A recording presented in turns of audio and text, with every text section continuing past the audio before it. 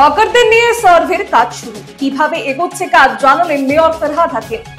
App তৈরি হচ্ছে, যে অ্যাপটা মুখ্যমন্ত্রী অ্যাপ্রুভ করলে আমরা ওই অ্যাপের মাধ্যমে জিআই ট্যাগিংয়ের মধ্যে দিয়ে ওই হকার যে তাদের স্টল এবং জিআই লোকেশন করে দিয়ে জিপিএস লোকেশন করে দিয়ে সেই জিপিএস লোকেশনে তার কি আছে? তার আর অন্য জায়গায় স্টল আছে কিনা? পুরোটা নিয়ে আধার বেস করে। কার পার্কিং নিয়ে কি পরিকল্পনা জানালেন মেয়র ফরহাদ হাকিম? কয়েকটা জায়গা পার্কিং এর জন্য দিয়েছি। মানে মুখ্যমন্ত্রী যেটা বলছেন multiple car parking multi level car parking সেগুলোর জন্য কয়েকটা জায়গা আমরা খুঁজছি।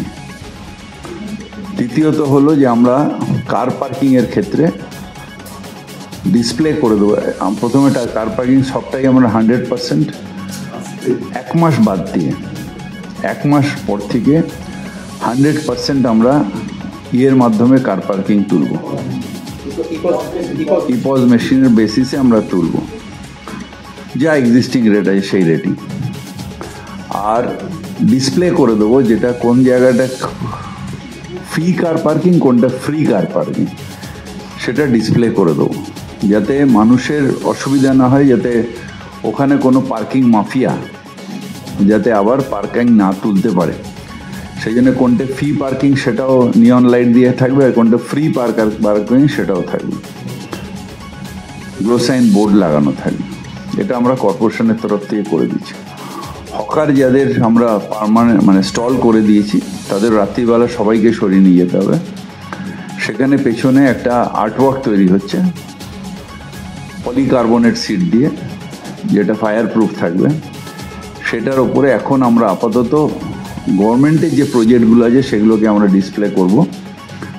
পরবর্তীকালে আমরা যদি, আমরা একবার টেন্ডার করেছিলাম, কেউ পার্টিসিপেট করেনি, সেই জন্য গভর্নমেন্টের দিয়ে আমরা এ করব। তারপর যদি কেউ টেন্ডারে আসেন পরবর্তীকালে ইন্টারেস্ট দেখেন তখন আমরা টেন্ডারের মাধ্যমে সেটা যাব। ফেরহাদ হাকিম এদিন পুরসভার বৈঠক শেষে কি কি বললেন?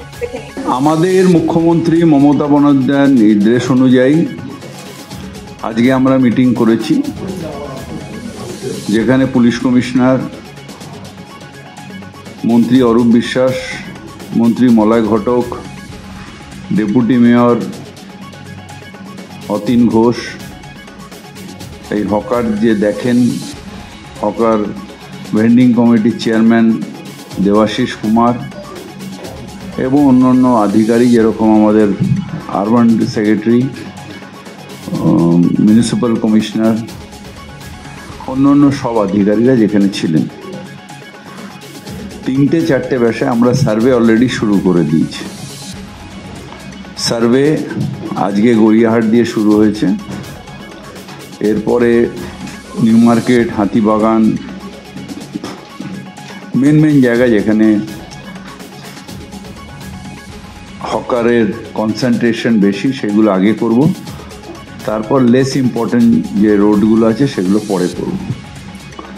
এই সার্ভে করে পনেরো যে সার্ভে সেটা নিয়ে আমরা মেলাবো।